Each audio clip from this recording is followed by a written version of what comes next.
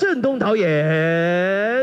来，我们给他拍拍手，柯导好。柯震东去年底受伤后，第二次公开亮相，一开始主持人黄子佼也不忘再给他加油打气。那最近呢，也有一点点小伤，不过看起来状况不错哈，希望大家继续为他加油。虽然伤势逐渐好转，但柯震东左眼下方仍贴着美容胶带，而他也坦诚，至今心里仍有阴影。尽量的去做后续的治疗，因为就还是在那里。就以前不会担心的敬畏，现在还是会怕怕的。蛮幸运的，眼睛还在，都还是往好的方向走。不过话锋一转，谈到他首次执导的电影即将在十号上映，也让他一度紧张到说话结巴。导演终于要上片了，您现在心情怎么样？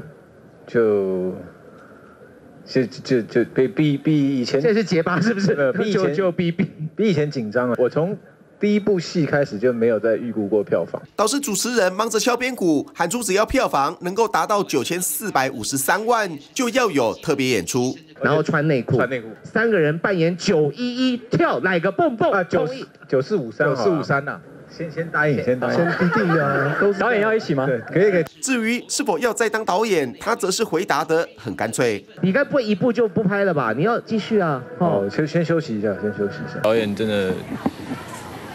就是不要轻易尝试的一个工作。电影首映会除了导演及演员出席，担任监制的九把刀以及柯霸柯耀宗也一起出席，大家同场嬉笑打闹，看得出柯震东正逐渐走出受伤阴影。TVBS 新闻综合报道，请支持专门报道国际新闻的全新 YouTube 频道 TVBS 国际 Plus，扩大视野，掌握趋势。邀请您订阅并且开启通知小铃铛。